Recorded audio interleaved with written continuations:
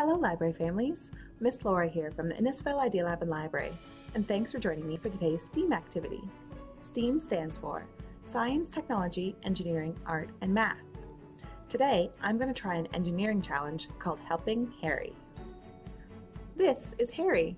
He is just a little puffball, and being on the ground is a dangerous place for him, as he is an easy target for predators. Harry likes to keep watch over the jungle, so he needs to be as high as possible. Try making him a safe perch using eight pipe cleaners, a piece of tin foil, two little pieces of cardstock, and two cupcake liners or doilies, and one arm's length of masking tape. Every good engineer starts with a plan, so make sure you draw your idea before trying to build it.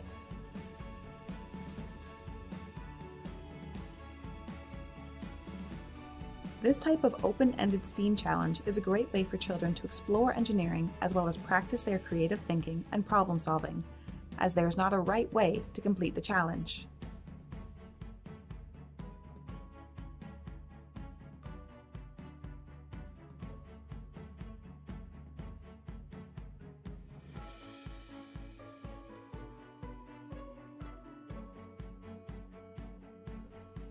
Once you are finished building your perch, make a prediction on whether or not your build will be successful at keeping Harry off the ground safely.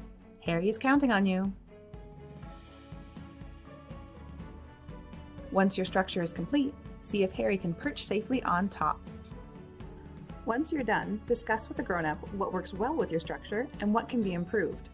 Try challenging a sibling or a friend to create a Helping Harry structure, or challenge yourself to improve your design.